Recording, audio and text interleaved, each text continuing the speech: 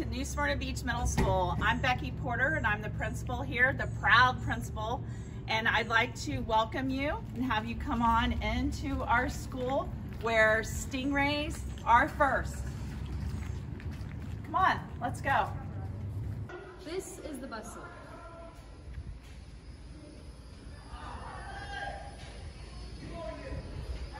If you ride the bus, this is the location you'll be picked up and dropped off from to and from school.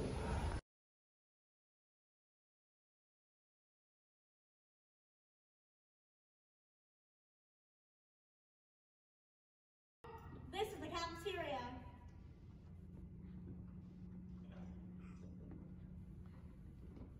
This is where the sixth graders will have lunch after second period, and if you need breakfast, once you get out of your car or bus, you will come here to eat. And you will be walked by your teachers, but you can sit with wherever and whoever you like.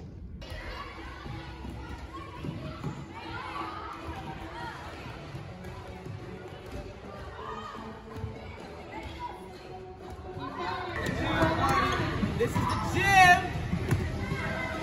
You meet the PE teacher every day. You have PE as an elective. So I advise you to choose it. And it's pretty fun as you can see. Welcome to Stingrays. This is your main office where you will see if you are dropped off late or if you're going to get checked out early. And welcome to the New Smyrna Beach Middle School campus.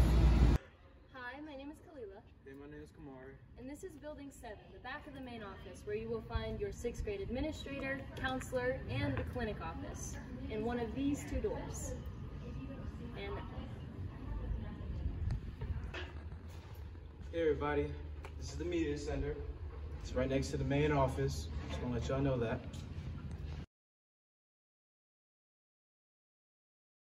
All right, guys, we are here to answer your questions. Say hi, guys. All right, these are our eighth grade students that are re- ready to answer these questions. So, a student from Coronado Elementary is wondering how long we have in between classes. Jasper? Well, we have four minutes in between classes, and while that might not seem like a lot of time, and you think you might be late, as long as you stay focused and don't talk with your friends too much, you'll be able to make it class on time. Able to make it class on time. That's exactly right. Our next question, also from a Coronado Elementary student, is for Reagan. What happens if you are late to class? So for the first couple of weeks, the school will give you time to find your way around. But after that, you need to make sure you are not getting distracted in between classes so you're not late. That's right. Great. Um, Lyndon, another student from Indian River Elementary, was wondering if we get recess. Uh, sadly, you don't get recess, but you do get gym every single day, which is like recess, but you dress out and it's worth a grade. Is it fun? Yeah, it is fun. okay. Another student from Indian River Elementary are wondering if the teachers are nice. Mary, Yes, all the teachers are nice. Some are strict than others, but they're always here to help you out. That's the main goal. Perfect.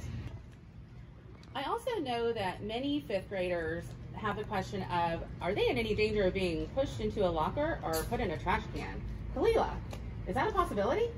I've heard that too, but I've never seen it happen. I think it only happens in movies. Mm, pretty sure, pretty sure she's right. Another student from Coronado Elementary would like to know, how do we carry all of our books? Do we have lockers? You won't have any lockers next year, so you- you'll have to carry your books in your bag. But some teachers will let you keep your supplies in their classrooms. And Jared, Indian River Elementary students want to know, is the school work relatively easy? So really that just depends. Um, regardless if you're having troubles or not, there are always teachers and administrators that are happy to help you. Good. I can, I can attest to that as well, because I am also one of those people that will be able to help you if you need it. Thank you so much for your time, everyone. You guys are going to have an awesome year. So get ready for summer and the new school year. And as long as you're prepared, you'll have a great time. While middle school might seem scary at first, you'll eventually warm up to it. From all of us at New Smyrna Beach Middle School, we'll see you next year.